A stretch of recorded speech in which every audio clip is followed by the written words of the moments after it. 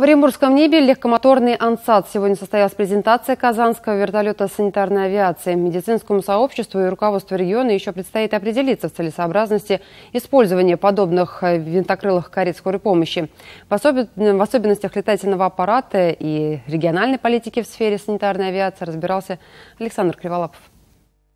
Работа двух турбовальных моторов мощностью в 600 с лишним лошадиных сил каждый впечатляет. Ощущение под винтом не из приятных. Ветер сносит с ног, пыль в лицо. Между тем, этот геликоптер Казанского завода считается легким. Взяв на борт тонну с четвертью, Ансат с крейсерской скоростью в 250 км в час способен пролететь до полутысячи километров без дозаправки. Однако и расход топлива впечатляет. 250 литров за час работы в небе. И это по сравнению с Ми-8 считается дешево. Час полета, вот по сведениям э, владельцев этого вертолета, он в два раза раза ниже, чем э, стоимость полета Ми-8. Ми-8 прожорлив, но более вместительный. На борт может взять несколько десятков человек. Легкомоторный «Ансат» не более двух. Но у него свои плюсы. Не нужна посадочная площадка, а это минута, на которой идет счет для жизни пациента. Ми-8 садится в Оренбургском аэропорту, а оттуда пациента в областную везет скорая, а это дополнительное время по загруженному Нежинскому шоссе. В районе ДТП, неважно, на дороге то или, допустим, рядом, где, где только возможно.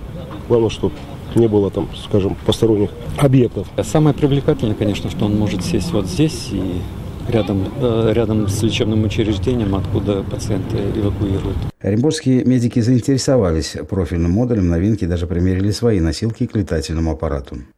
Вверх, а назад уже не катится.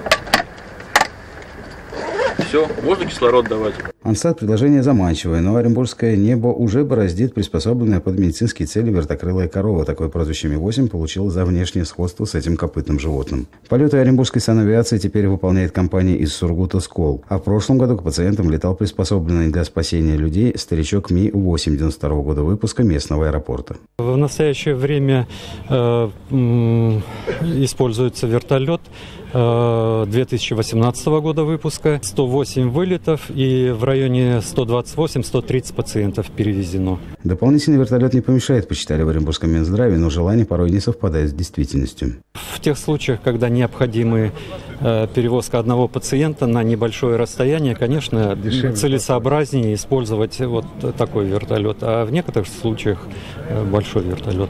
Оренбургский Минздрав, как в поговорке, хочется и колется, и кто-то не велит. Ну, в общем, вертолет хороший.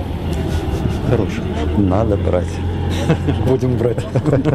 Брать или не брать, над этим вопросом в Оренбурге еще будут думать. Тем временем контракты по обслуживанию санитарной авиации «Ансата» уже выполняет в Волгограде, Пскове, Кургане, Крыму и Нижнем Новгороде, спасая сотни человеческих жизней. Оренбуржье на развитие санавиации с федерального бюджета в этом году получит более 70 миллионов рублей. Внесет ли изменения в принятые решения сегодняшней презентации вертолета, пока неизвестно. «Ансат» пока улетел покорять соседние регионы практике санавиации Оренбуржья уже были собственные малые вертолеты 2К-226, которые 9 лет назад обошлись казне в 100 с лишним миллионов рублей.